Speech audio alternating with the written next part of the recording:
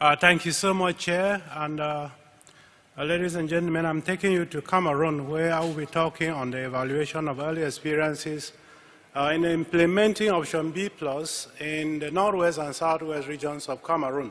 These are two regions which are English speaking, and there are two regions that had the highest um, HIV prevalence rate following the DHS of 2004.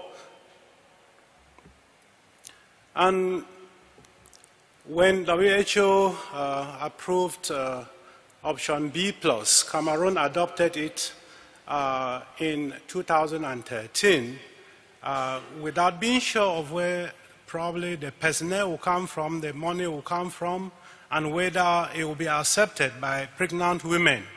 And so it was necessary to do a pilot, and we thank God that CDC, uh, through some funding from PEPFAR, uh, funded the CBC Health Board to do a pilot of option B plus for the country. And we are working as partners of the Ministry of Health. And so the Ministry of Health graciously asked us to do the pilot in these two regions. So we did it, and the early results that I'm presenting to you actually enabled the government, the Ministry of Health, to actually implement uh, option B plus, and it is being scaled up. The methods that we use for this evaluation is that from October 2013 to March 2015, HIV positive pregnant women and breastfeeding women that were identified in 22 pilot sites, which are actually in two districts, that is Kumba and Bamenda, were given option B plus. We gave them, we administer option B plus uh, to them, and then they, we only gave to those that were not yet on any ARVs.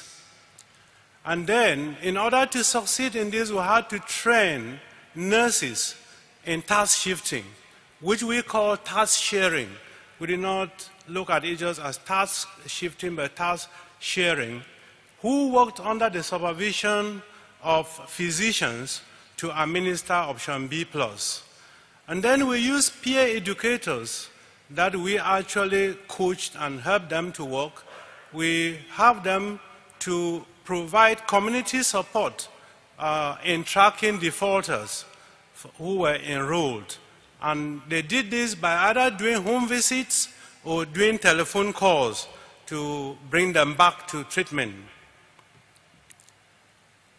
The results that we obtained from doing this from October to March are that we identified a total of 1,800 HIV uh, positive pregnant and breastfeeding women, and out of this, only 669 actually were eligible for enrollment. And then, of the 669, 666 accepted lifelong ART. And uh, three only accepted ART for the period that they were pregnant and the period that they were breastfeeding, after which they had to stop. When you look at the table in front of you, go to the exposed infants, which is the target that we have. You will see that eight of the children out of the 535 that were exposed, eight of them died, and then we lost three to follow, up, the lost to follow up, and then uh, we have 430 that actually had DNA, DNA PCR test at six weeks, and then out of the, the 430, 13 of them were positive.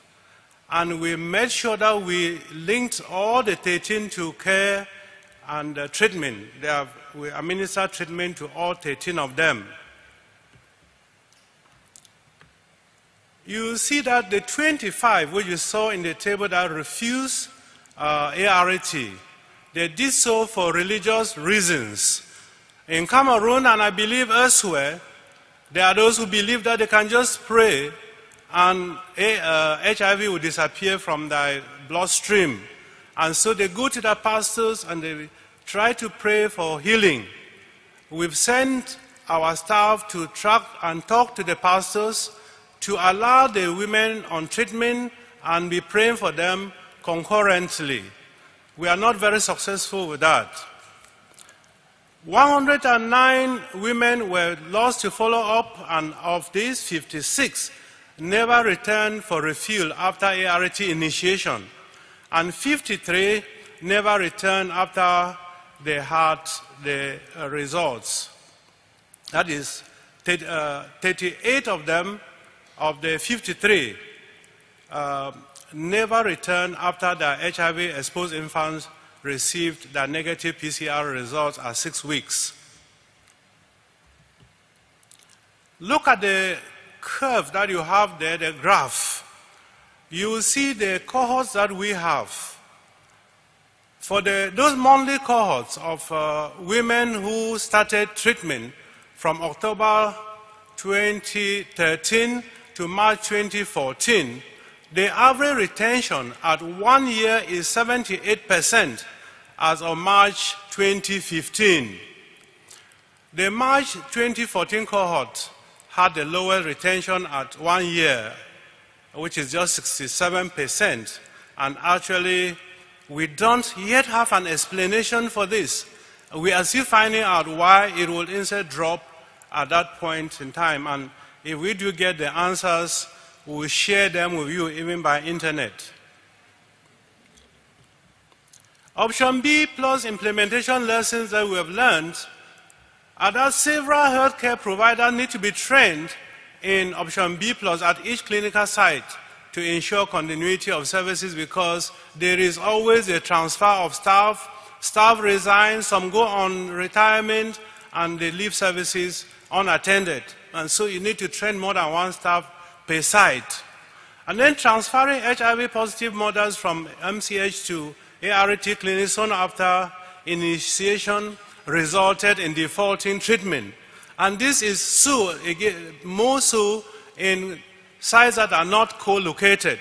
If it's in a co-located site where you have care and treatment in the same place and uh, uh, MCH, it may not be as bad. But when you have to transfer them to different locations, Either they don't have transport to be moving, or they may uh, be unable to move because of distance and so on. So that is causing some uh, uh, attrition. Then strong defaulter tracking system using peer educators is able to improve retention on, on ART uh, and ART adherence. Strong supply chain for ART and other HIV commodities is essential for treatment and infant retention. These are some of the lessons we've learned over the last period of uh, this evaluation.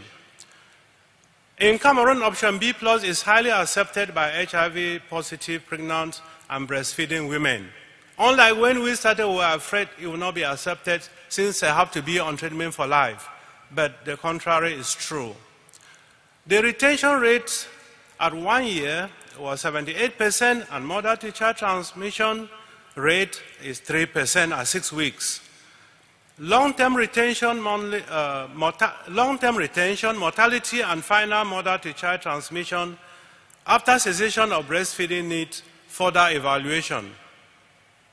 The Cameroon Ministry of Health has used these results to implement option B plus at 480 sites.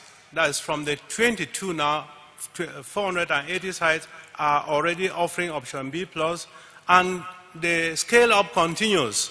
And we believe all the health facilities will eventually be covered, funding being available if God so permits. Now I want to acknowledge all these good people um, PEPFAR funding us through CDC.